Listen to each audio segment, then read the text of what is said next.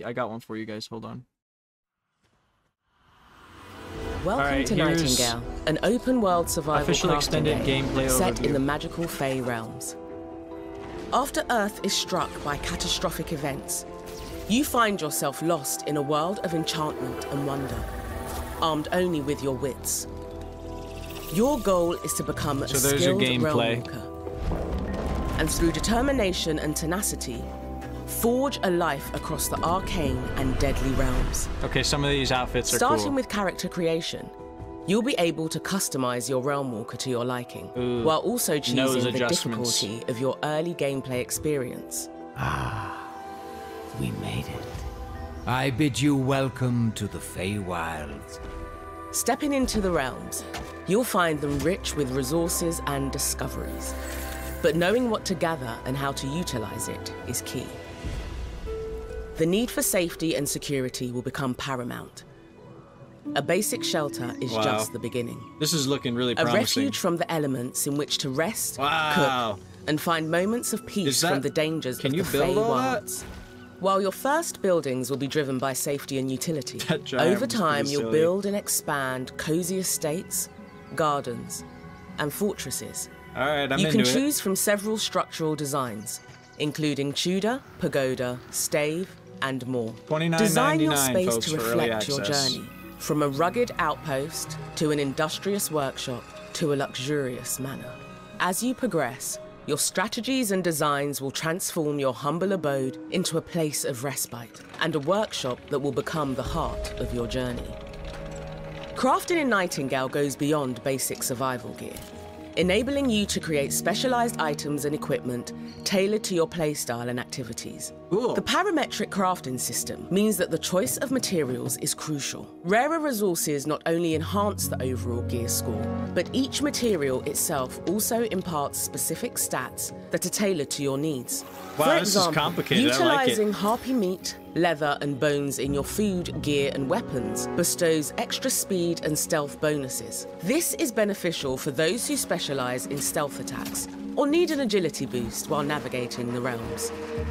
Upon Wow, that's crafting cool. each piece of gear or weapon, you have several options to add enchantments, infusions, and charms. God damn. enchantments can imbue your weapons with extraordinary spellcasting powers, such as the ability to execute area of effect attacks dream. with ground slams, or even regrow forests.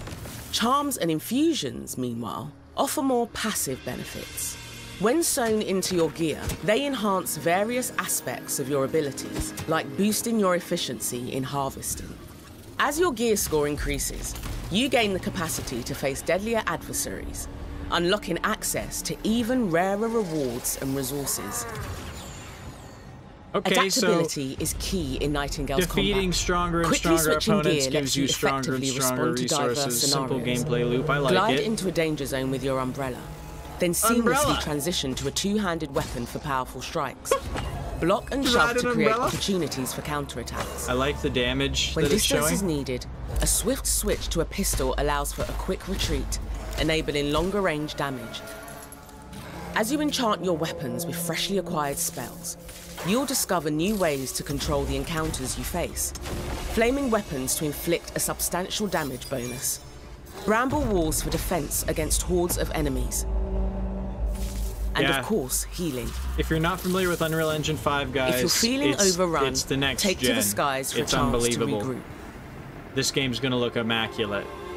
At the heart of Nightingale's open world experience are realm cards, That's a the parasol. keys to the Fae realms. Whether you're you, fully Mama. equipped Thank you, and thank in you. search of rare resources the beyond best. your starting realm, or you're ready to pursue a realm spanning quest, it's time to delve into new worlds using realm cards you've discovered or crafted. So, you make the cards or find them, and then you can open a portal to a new world. With three types of cards Which- biome, which- major. I want to illustrate that this is going to make this game insanely replayable or infinitely playable because they can continually patch in new maps, or I don't know if it's procedurally generated by the portal, right? But they could put new biomes or new maps on the other sides of portals that they can keep patching forever and ever, and you could play off your base on a main island continually. That's a really, really good idea. and Really minor, good. you can tailor realms to your liking. Biome cards, such as forest, desert, and swamp, set your realm's environment. See, Paired with one of the major cards. cards, such as Herbarium, Gloom, or Hunt, to define the realm's theme, creatures, encounters, and merchants. That's so cool. Minor cards provide additional customization, enabling you to influence various aspects of the game. Dude. These include enhancing player stats, such as increasing strength and That's a carrying cool capacity, monster. I like improving item Raider. rewards like the loot found in chests, altering weather and skies, boosting resource yields and garden growth speeds, and even manipulating gravity. That's cool. Use them at realmic transmuters to magically alter the realm you are in. The combination of all three together creates endless variations. As an example, the Hunt Swamp card combination offers a greater challenge as creatures become more aggressive and territorial. This is also one of the few places where you will encounter the formidable Humberbar.